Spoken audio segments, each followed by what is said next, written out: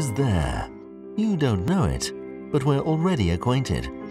My name's Megamax, and I was born in 1989. The world was a different place then. The Berlin Wall was still standing.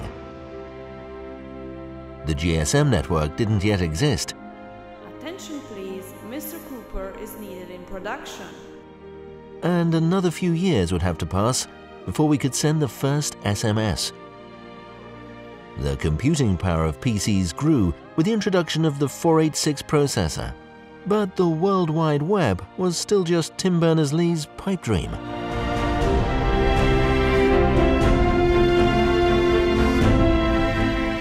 Since I've been in service, I've worked to ensure the safety of your system, and you've probably not given me a second thought. However, my experience has proved indispensable for creating new circuit breakers. The time has come for me to make way for the new generation, as embodied by my grandson, who not only delivers high performance, but also is also hyper intelligent and always on, like all youngsters. His name is Emax 2, and he's intended to take my place, enhancing the characteristics of the switchboard.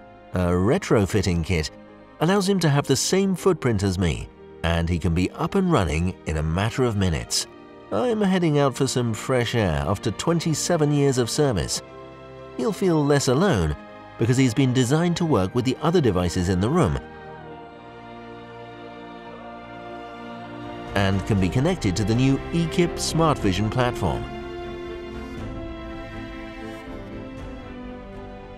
Give it your best shot, Emax 2. The future is yours.